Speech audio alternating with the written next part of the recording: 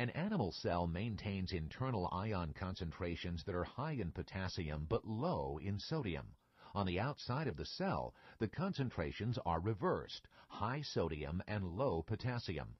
These concentration differences create electrochemical gradients across the membrane, which the cell can later tap for energy. A membrane protein, the sodium-potassium pump, keeps the ion gradients intact. The pump drives sodium out of the cell and brings back any potassium that's leaked out.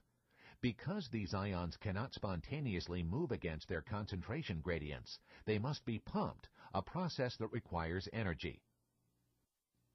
In the first step of the cycle, three sodium ions and one ATP molecule bind to the pump.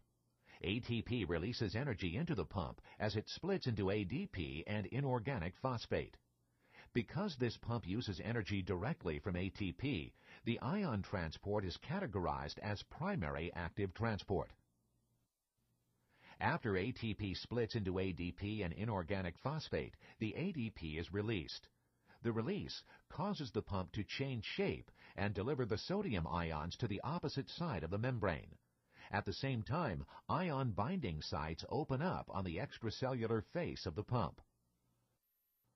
On the extracellular side of the membrane, the pump releases the three sodium ions and picks up two potassium ions.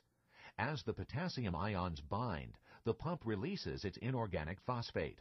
The release causes the pump to again change shape and to deliver the potassium ions to the inside of the cell, completing the cycle.